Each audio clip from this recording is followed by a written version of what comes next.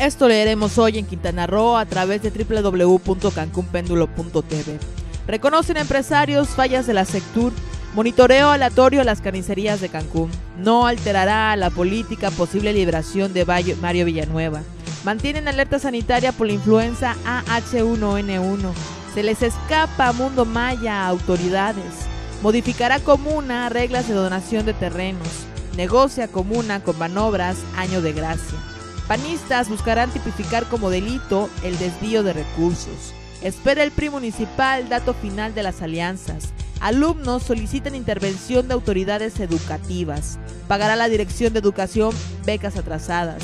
Benito Juárez invierte 400 mil pesos en la organización del Carnaval 2012.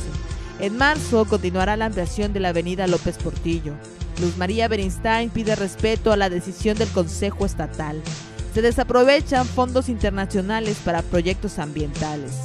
Básico, dar garantías a empresarios de tenencia de tierras. Cambios en el Gabinete Municipal de Solidaridad Menciona Freddy Marrufo que hay buen ritmo en la revisión de cuentas de oficinas públicas. Solicita DIF reposición de galletas que se entregaron en mal estado en Felipe Carrillo Puerto. Presentan proyectos de asistencia social para los DIF municipales. Regidores de Otompe Blanco ignoran paradero del alcalde municipal. Panal abierto a candidatos externos. Jueces estatales recibirán bono entre 70 y 80 mil pesos. Entrega el gobernador medalla al mérito administrativo. Entrega Borge Angulo un autobús al DIF Quintana Roo. Exitosa jornada comprometido contigo en Carrillo Puerto.